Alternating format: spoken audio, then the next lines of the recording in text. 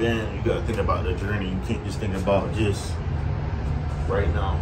You gotta think about the long term and everything that you gotta do to stay afloat in the bad and the good times. In the good times, you gotta think about the bad times. In the bad times, you gotta be reaping the benefits of what you did in the good times so you can have longevity out here real. Plus, you gotta keep your costs down. You gotta keep like I'm saying outside of trucking. Like just because you come out here in that inflated market, don't mean you can live a lavish lifestyle. Unless if you have all your ducks in a row to move, to take that next step. You can't just hop out there and just think you can just do whatever you want. You gotta really be locked in.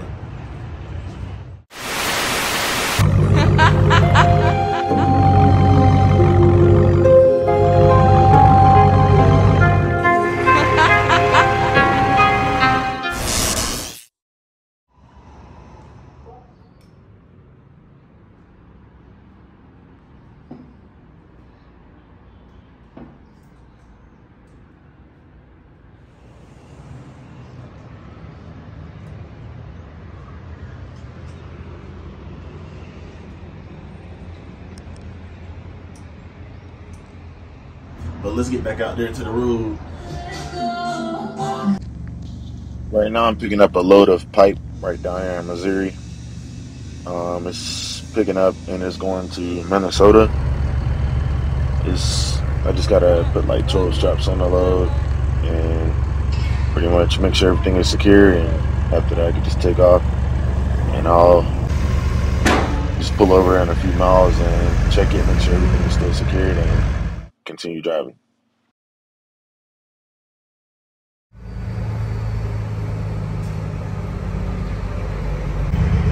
Here at my delivery in Minneapolis, Minnesota. I'm just waiting on this guy, this Mercer guy right here to back up and turn around. Then I'll pretty much pull him to the spot he was in, and this forklift guy right here is gonna drive around and unload me. This guy right here. It was a one day load. Picked up in Warrenton, Missouri. It was about maybe 600 miles. It was a good run. I think he's happy. My next load, I just booked another load, is going to Spokane, Washington, picking up like 10 miles away. It's just a load of pods, like moving storage pods. Take those down there, deliver Friday, and I'll see if I can get me another load for the weekend. Probably coming back east or going south from Spokane, but we'll see. It's unloading me now.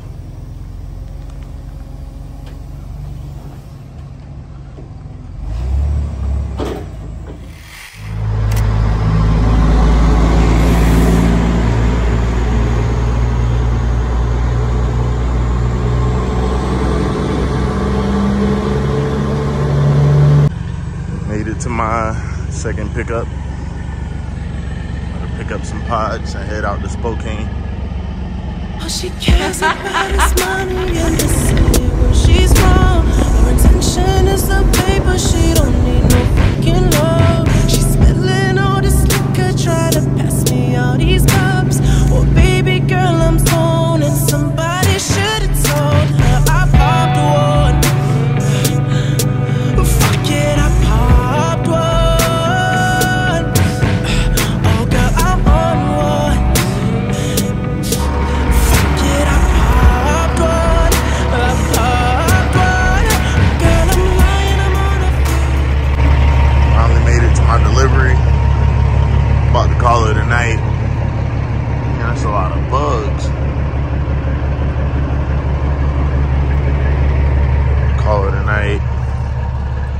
up at like in like seven, eight hours to deliver the load. So I'm gonna just sleep right here tonight. But glad I made it see. Good night, you guys. I'll see you in the morning. Seen this many bugs. I think it's because that fire that's going on, it's causing, like, it's like completely just covered Look at that.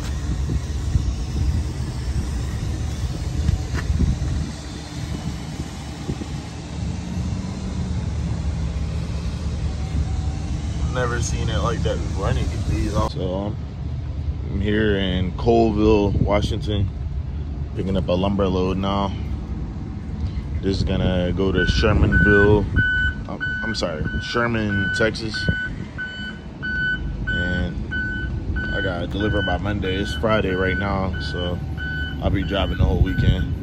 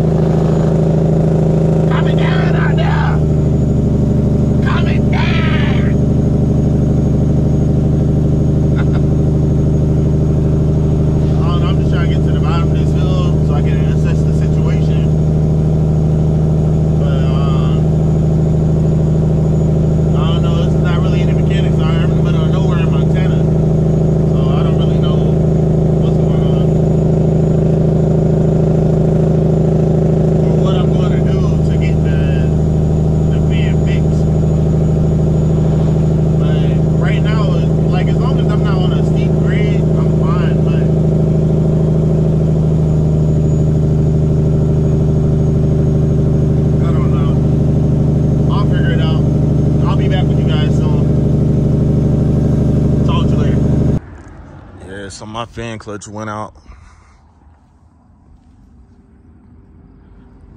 I'm out here and uh, I'm like 20 miles away from Billings, Montana. And I got a 48,000 pound load. I was climbing a mountain. My fan just started failing. Like it wasn't, it wasn't like cooling down for any stretch of the imagination. Like it just kept like going up and up. And I was like, oh my God, it's about to, it's about to blow pull over and assess the situation, but I just got through climbing a, a mountain going this way, so it should be downhill all the way back to Billings. So I'm just gonna see if I can just push it down the mountain right quick. Once it cool down,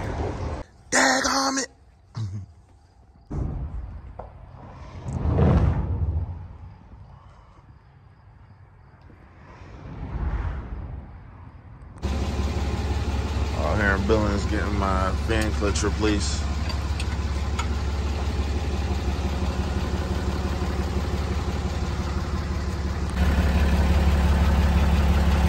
About to get squared away out here.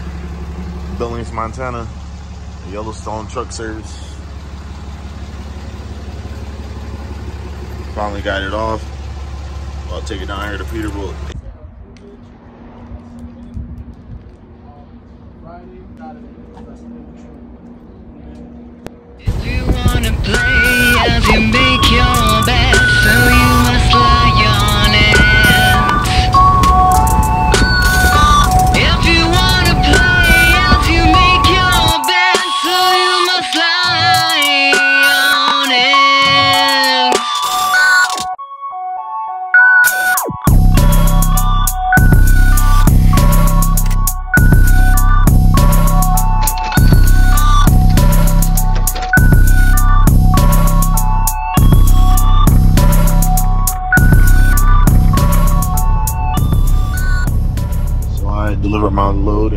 In Texas headed down to Fort Worth, Texas to pick up another load. Getting here to my my pickup. We're here in Fort Worth, Texas. I'm about to pick up some electrical like car charging units. Those things that Tesla cars be using and stuff.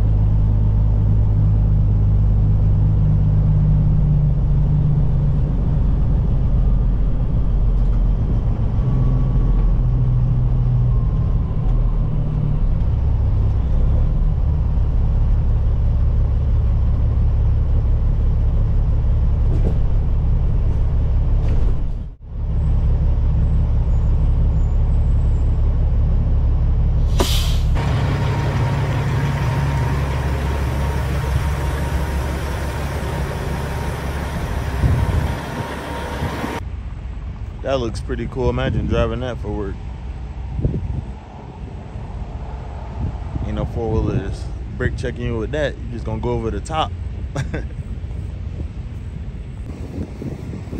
just making it. About to get a PM done. Picked up this load. This a load of transformers. They're for um. They're going to a UPS. Um, they're they bought electric trucks and they're um, using this for the, I guess the charging system for all the trucks. Not semi trucks, mail trucks. Just making it to my delivery. Just trying to check in. Got a bunch of drive-in drivers in front of me. I don't know where they're gonna have me stage to get unloaded. About to find out now.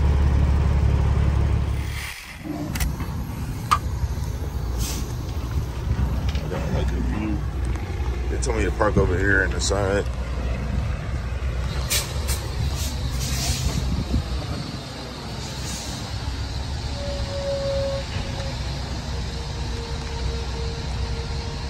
Hopefully it won't take too long for them to unload me. They gotta unload these drive-in guys first. Then she said she's gonna come out this side door right here and with a forklift and she'll unload me from the side. We'll see how stuff goes.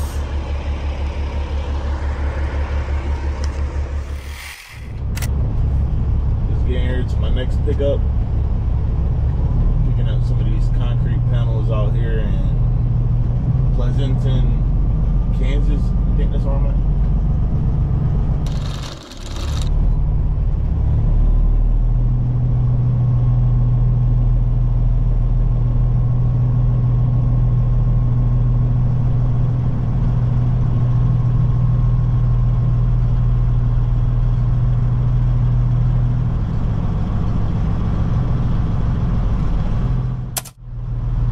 I'm picking up the flooring, like the concrete flooring for a warehouse up in Eau Claire, Wisconsin. Pretty much, they're gonna take the panels. They're gonna pick up two of them. Each one weighs like 20,000 pounds, 21, 22,000 pounds. They'll take it, put it on the trailer, and I gotta throw one strap in the front and one in the back. And after that, um, I gotta move to the staging area so I can throw two or three more straps because it's 40,000 pounds, so I'm gonna need at least like five straps to make sure the load is properly secured. And that'll be pretty much it. That's good. You good?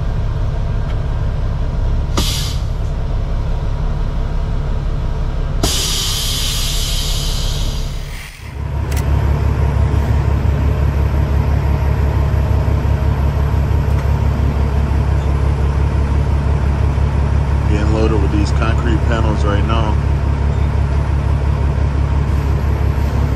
Whoa, go down.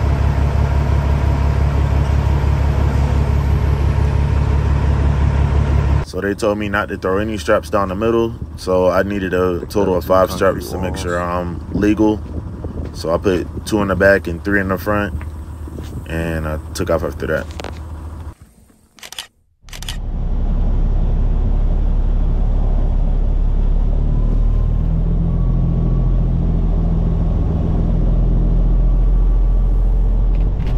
Just getting to the receiver. There's some job site out here.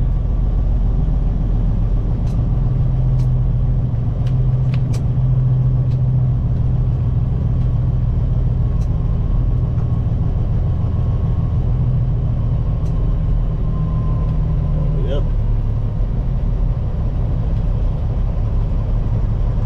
Got 'em all lined up over here.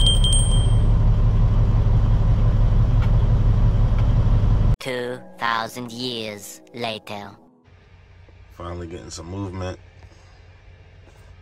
Was waiting on an oversized guy to get here. He he couldn't find the construction site. Had us in here for like two hours. It's all good though. We're kind of wrapped around the building. I don't know if y'all can see it in the mirror.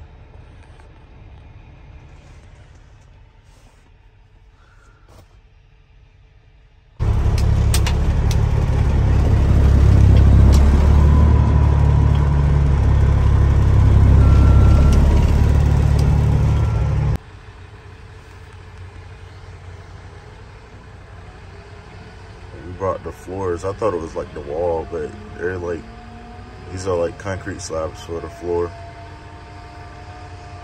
That's so cool.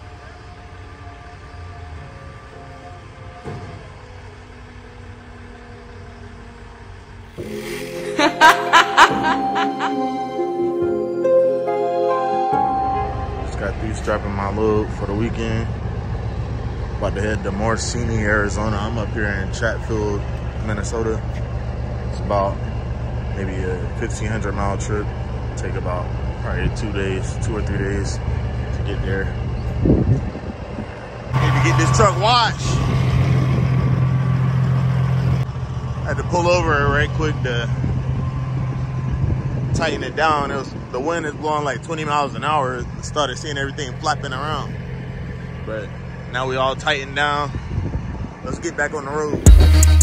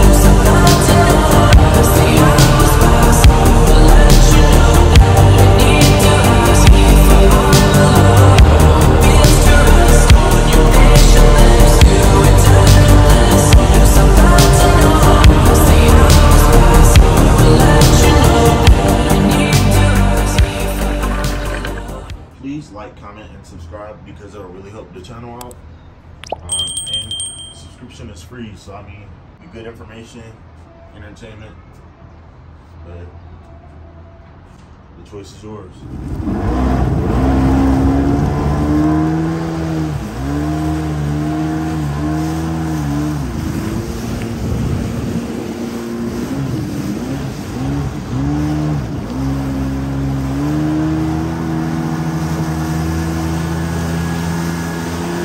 I think her shit faster than mine, man. I'm trying to keep up. She's been kicking my ass. Do you know